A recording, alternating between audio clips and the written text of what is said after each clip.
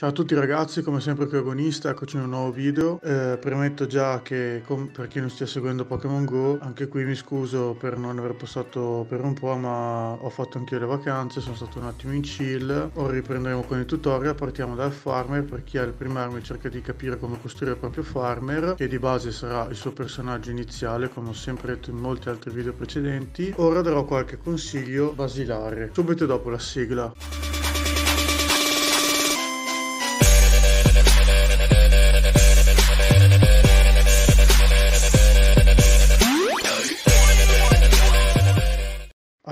Ragazzi, partiamo dicendo subito che questo video non è fatto per mostrare come costruire un farmer che vada velocissimo, è fatto per chi deve ancora costruire il suo primo farmer, che lo porterà poi a buildare i personaggi che gli serviranno successivamente nella campagna per creare farmer efficienti e così via. Andremo poi in altri video a studiare quali sono i personaggi migliori per fare farming eccetera. Per il momento limitatevi ad usare il vostro personaggio starter. Per chi non sa ancora che cos'è un farmer, il farmer è quel personaggio che alla difficoltà brutale della campagna, allo stage 12, quando svolgete il sentiero 3 o il sentiero 6, lui da solo, dato che è a livello 60 e con i dovuti upgrade, riuscirà a terminare il livello poiché voi gli assegnerete come squadra tre pippette che dopo avergli fatto terminare il livello al vostro personaggio che ha 60 e quindi non può più prendere esperienza le tre pippette che sono morte all'inizio prenderanno l'esperienza e se la divideranno questo a cosa serve? a far sì che costruiate dei personaggi pippette da dare da mangiare ai personaggi che voi volete buildare facendogli fare così le stelle portando così la vostra squadra verso il tanto bramato livello 60 60. Quindi questo personaggio qui è il primo personaggio che voi dovete cercare di portare a 60 e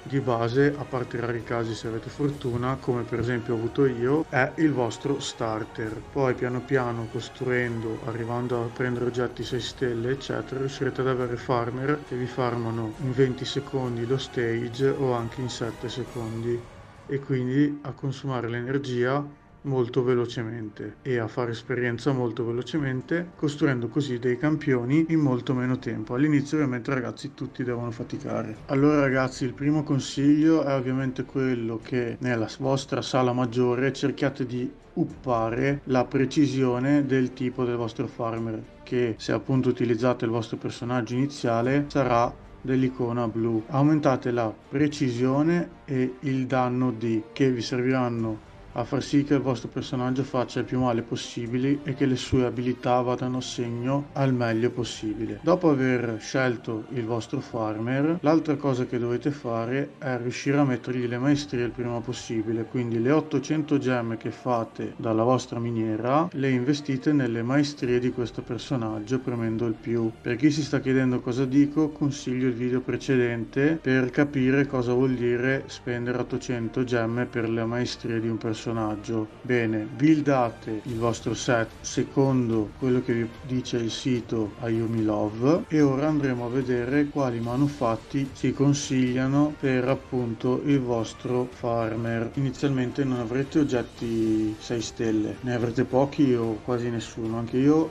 al momento non ne ho equipaggiati sul farmer che attualmente sto utilizzando che è Anima Arcaica, però comunque riesce a farsi il suo bello stage in difficoltà brutale, stage 12 di sentiero 6 in tranquillità il suo minutino se lo fa. E come fa a curarsi un personaggio di tipo attacco? Perché tutti gli starter sono di tipo attacco e i farmer sono di tipo attacco. Ovviamente ci sono delle eccezioni che poi andremo a vedere in un apposito video. Ma come fa un personaggio di tipo attacco a arrivare fino alla fine se non ha un personaggio che lo cura? Qui entra in gioco i manufatti rubavita entrano in gioco che equipaggiandone 4 al vostro personaggio attivano una sinergia per il quale lui guarisce per il 30% del danno inferto. Quindi se ha, se ha, tanto attacco lo fate guarire lui recupera la vita e riesce a portare a casa lo stage. Oltre a questo ovviamente dipende dal personaggio che utilizzate dovete aumentare o il danno D o il tasso D a discrezione del personaggio con degli oggetti. Io per esempio dato che so che ad anima arcaica serve tanto tasso D e danno D come vedete ho cercato di mettere degli oggetti che glielo aumentassero nelle sottostatistiche e ovviamente come altra sinergia ho attivato l'equipaggiamento tasso di eccessività che se ha due manufatti di serie aumenta del 12% il tasso di eccessività.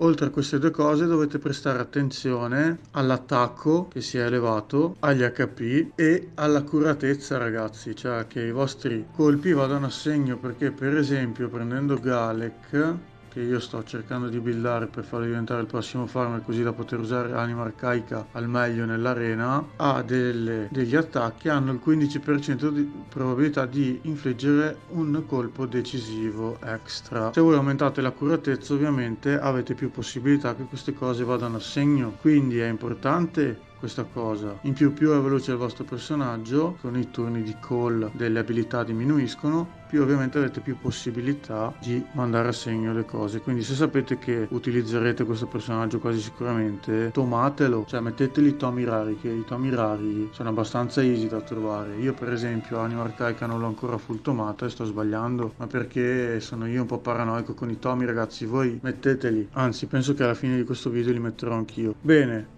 Detto questo, quindi riassumendo, dovete portare il vostro, il vostro personaggio primario a 60, gli mettete un'armatura full rubavita che appunto viene presa o nell'antro del drago oppure in campagna nello stage dello stretto di Vladr il numero 8 e niente dopo aver creato un buon set rubavita che ha appunto come sottostatistiche almeno l'accuratezza, l'attacco e gli HP, vi lanciate nella difficoltà brutale 12, mettete al seguito del vostro farm delle pippette, farmate così che poi vi costruite una bella squadra per andare poi a studiare l'arena eccetera. Spero che il tutorial per creare il primo farmer sia stato abbastanza utile, so che non è esaustivo, se avete delle domande fate pure nei commenti, se avete accorgimenti scrivete pure perché impariamo tutti insieme, mentre io io, Fultomo, Anima Arcaica, vi lascio qui. Ciao a tutti ragazzi, ci vediamo in un prossimo video.